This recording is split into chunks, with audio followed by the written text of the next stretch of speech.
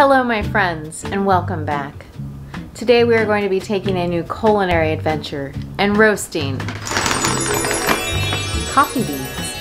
We're going to just toss them in a skillet, shake them up a little bit, roast them, hopefully not burn them, and see what happens. What do you think's gonna happen? I have no idea. I'm guessing a lot of smoke and some burning smells and some coffee smells.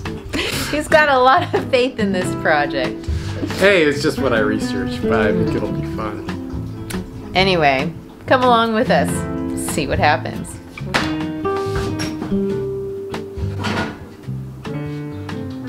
So here's our cast iron skillet. As you can see, it has some oil in it, and I didn't read anything that said you need to roast with oil in the pan. So I'm just gonna go ahead and wipe it on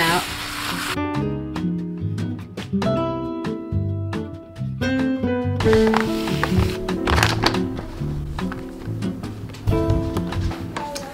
So we're getting ready to get started here. Um, as I just opened this bag up, it was kind of a strange experience because you know, you usually open a bag of coffee and like take that first whiff and it's so yummy smelling. And um, I just smelled it and it just smells really like earthy and not like coffee at all. so hopefully we can get that really nice scent. Anyway, here we go.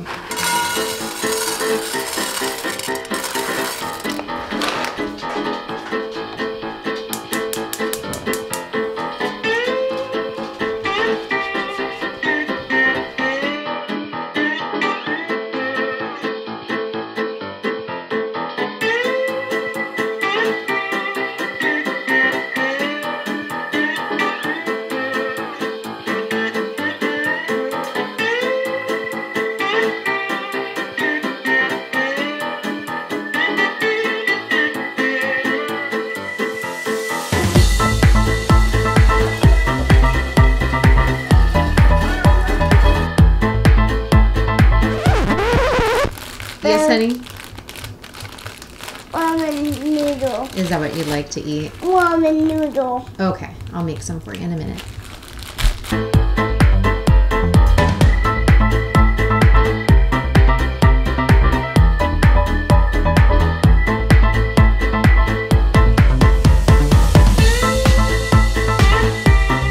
This is going pretty well so far.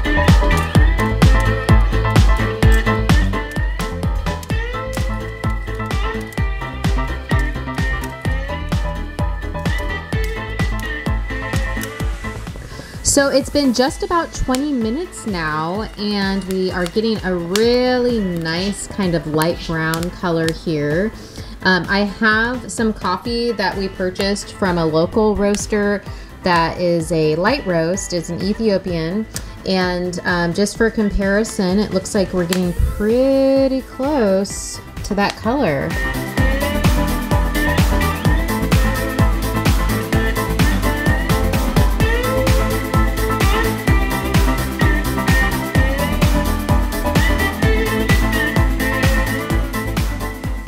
So I've let the beans just kind of coast in the pan without any heat on it for about 10 minutes.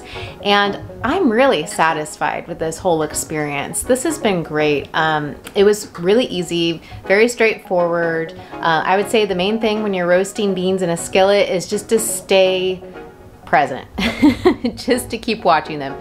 Because if you don't what can happen is it can burn on one side and then the roast can be really uneven. And so I was just making sure to stay in front of the stove and just to continue stirring as much as I could.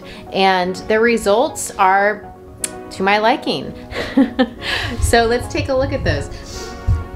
You can see the color is a really nice dark brown and there are a few lighter beans here and there just because, you know, just the nature of stirring it to try to keep it evenly roasted um, is not perfect.